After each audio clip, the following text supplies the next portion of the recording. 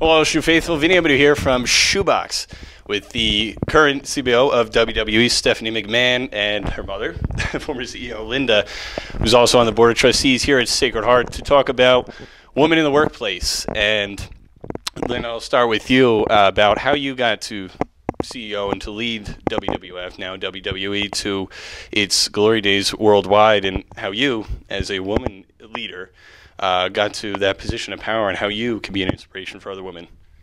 Well, Vinny, I can tell you that it's uh, it's all about hard work, um, but also our business is a family business. Um, my husband and I started, uh, you know, WWE as it is now, but it, Vince was third generation in the business, and uh, Stephanie and her brother then were fourth generation, and we had various different positions, but Vince was always number one. I was always number two. So he was the chairman, I was the CEO.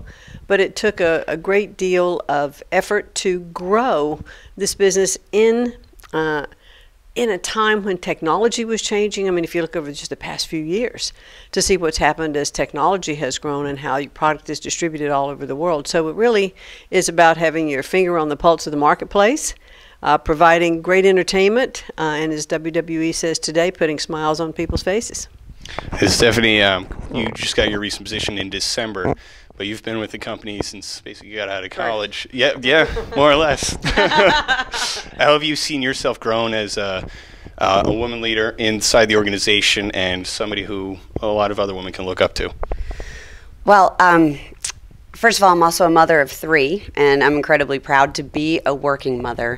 I've had the opportunity to have a number of different positions, and as you mentioned, the WWE's glory days, I think that absolutely they were our foundation days, and we are just now beginning to enter you know, into this new incredible space. We launched the WWE Network, the first ever OTT live streaming digital service. And what that means is it's basically like Netflix, only better, because we have the live streaming component if you're a WWE fan. Um, but that's you know that's nine ninety nine a month. That's really revolutionary when you think about it. This is the first ever live streaming over the top digital network. We also have our chief revenue and chief marketing officer is a female. Her name is Michelle Wilson, and it's been a lot of her leadership that's got us there. In terms of me and my career, I've really had the opportunity to start at the ground level. I was a switchboard. Well, first of all, I was a child model.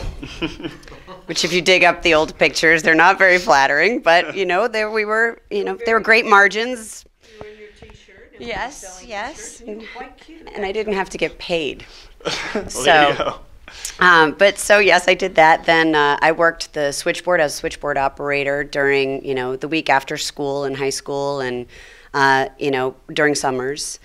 Then I interned basically in every different department, whether it was marketing, media relations, digital media, which at the time was, we basically had this Donkey Kong looking um, website. It was really at the, the beginning, the inception of the web, believe it or not, dating myself a little bit. But uh, so I interned in a variety of positions. Then, when I came into the company full time, I worked in our sales office. I took over the creative writing team. I ultimately took over live events. Uh, live event marketing and booking, talent relations, talent brand management, which is more like endorsement type deals, and then digital. Uh, before I came into my most recent position as chief brand officer. Now you mentioned your daughters at home. Um, what kind of example are you trying to set for them who will eventually, you know, be going into the workplace as well as other women around the country? Well, I try to set the example that my mother set for me, and that is you can do anything that it is you want to do as long as you believe in yourself and you fight hard for your dreams. And Linda, you ran for state senator as well as being CEO of WWE. Uh, what kind of example were you are you trying to set for other women who are also trying to get those positions? Well, it's what Stephanie just said. You you really do have to believe in yourself. You have to go for it. You can't give up. You have to set your goals and you uh, you're always looking ahead. You're really not looking back, and to leave WWE in the position of CEO, which was an incredibly challenging and fulfilling job to run for the United States Senate, was just a, a different avenue to go uh, to go for. And I think we need more women in government, more women uh, in business, more women uh, in the boardroom because women absolutely give a different balance, a different perspective. And there have been studies that shown that when women do have uh, more of a position in the company, you can have a better bottom line because I think they just do bring a different perspective. You talk about a different perspective. What are some tips that you would give to women just entering the work world or women who have been in, in those industries for a number of years now looking to get an executive spot? Women just really do have to believe in themselves. They have to understand uh, what their uh, what their goals are. They have to plan their strategy. They have to understand what they believe, what they bring to a company, to an organization, or if they're starting their own business and are entrepreneurs, you know, they, they just have to continue to have that confidence. I think studies have shown that women don't often stand up as much for themselves as they need to. And I think that women are definitely changing, and that's one of the things that I hope to accomplish with this series. And Steph, you've seen yourself in a number of different positions since you started with the company. Now as a CBO, what has been some of your more favorite, uh, I guess, positions with the company? Well, I did fail to mention that I am also a TV personality for WWE, and uh, I do play a bad guy. And I've got to say, there's a lot of fun in that. So I have a great time. Uh, both on the road and off the road. But really, a part of my new role is community outreach. And I've had the opportunity to work with some amazing organizations from Make a Wish Foundation to uh, the Pearson Reading Group, because literacy is a big initiative for us. To I'm on the board of the USO Metro. Um, to Kaboom, we just built a playground for the first time ever in an impoverished area in New Orleans. Uh, I have the opportunity to give back across the board in so many different levels, and for me, that is a key part of what I want to do with my life and with my new role in this company.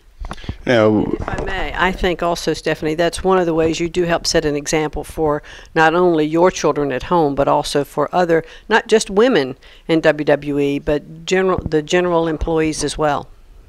and how much do you, importance uh, do you feel that not only just for you, because it means a lot to you to be involved with these uh, associations and charities, as well, as well as the anti-bullying program, but for the WWE company, um, women, men, everybody to really reach out to the community. I think community outreach is an incredible important, incredibly important part of society, let alone businesses. I think that it needs to be more integrated into what we do at the school level. Um, you know, certainly post graduation and at the business level, where you then have the funds to be able to support some of these organizations that need it.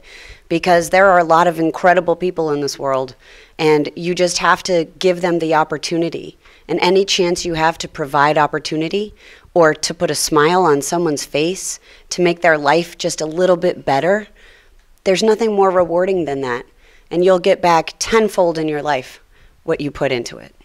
It's fantastic. Thank you. Is there anything that I haven't asked you to that you would like to reach out? Well, I'd just like to say, uh, and it may be perceived that it's just a mother's pride, but to be able to begin this series today, uh, having my daughter uh, as the, the first as part of this series is just uh, fantastic for me because not only do I have mother's pride, which I clearly do, but she is a fantastic young woman, a great executive, sets a great role model for her three girls. So to be able to be able to be able to showcase her a little bit at Sacred Heart University to kick off this series, I think will be uh, well received by the student body, and they're going to enjoy and also uh, have some good advice today. Stephanie. Well, she's going to make me cry, and so it's good we're doing this interview now. Um, but, you know, I couldn't be more proud to be here. For my mom, you know, to be a trustee and to have established this program, I mean, to give back. You know, that's exactly what she's doing. She's giving back to the community in this series. Women can have it all. You know, and to have me as her first guest, I'm just, I'm overwhelmed and I'm honored to be here, and I couldn't be more excited. Thank you both for your time and uh, continue to do the good work you do. Uh, Vinny Ebenau here from SHUbox with Linda McMahon and Stephanie McMahon for the lecture series Women Can Have It All.